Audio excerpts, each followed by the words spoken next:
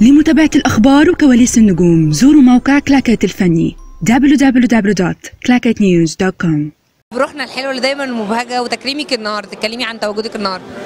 مبسوطة طبعا زي أي حد آه، بينبسط إن الناس بتحبه والناس بتكرمه والناس بتقدره. حاليا أنا ب- هيتعرض لي مسلسل إن شاء الله كمان يومين اسمه أيام كنت بصوره في لبنان. فمنتظرة إن شاء الله ردود أفعال عليه وأتمنى إن هو يبقى الدور حاجة كويسة وأتمنى إن أنا أتكرم عن الدور اللي أنا عاملاه في مسلسل. آه روحك على المسرح بتبقى حلوة وروحك على المسلسلات بتبقى حلوة والأفلام. ليكي طلة وبهجة عايزين نعرف إيه سرها؟ إيه سببها؟ سرها؟ سرها الاجتهاد سرها الشغف إن أنا بشتغل وأنا عندي شغف وحب آه، كأني لسه آه، يعني لأول مرة آه، أطلع على خشبة مسرح. بشتغل وأنا فرحانة وأنا رايحة انبسط وأنا مش بعمله كمهنة وبس أو مصدر دخل لا أنا بعمل حاجة أنا بحبها قوي وبعملها باجتهاد ويعني بذاكر لها كتير. فالحمد لله. أيوه. إن إحنا نرجع دلوقتي ما شاء الله. ما هو الحمد لله أنا ما بعملش حاجة إلا اللي أنا حاسة بيه. لما حسيت إن أنا مش قادرة أدي وإن في ظروف كتيرة مختلفة اعتزلت ولما حسيت إن أنا مش قادرة آه تراجعت لأن أنا حسيت إن حبي للفن أكبر بكتير قوي من أي ظرف.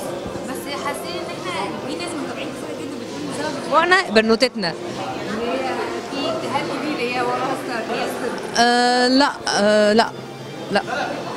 لا لا ونوتتنا ممكن تدخل التمثيل معانا ونعمل دور سوا.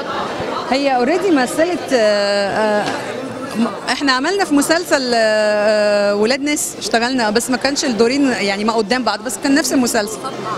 والله على حسب يعني مفيش حد بيقعد يفكر قوي كده. لو أنتوا الاثنين قدمتوا الاثنين قصاد بعض تفتكري هيبقى الموضوع سلس ولا هيبقى في حاجة؟ كده لا لا إحنا professional قوي. إحنا هنتعامل كممثلين زي بعض زملاء.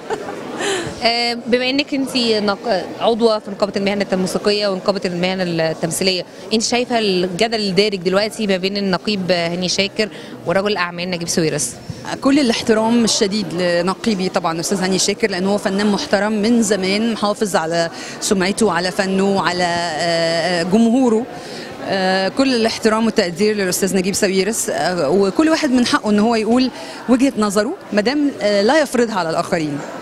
آه، النقيب من حقه انه ياخد ما هو في مصلحة النقابة وما هو في مصلحة ال- الفن المصري المحترم. أنا شخصيا بسمع مهرجانات بس بسمع حاجات معينة من المهرجانات هادفة وما فيهاش كلام خارج.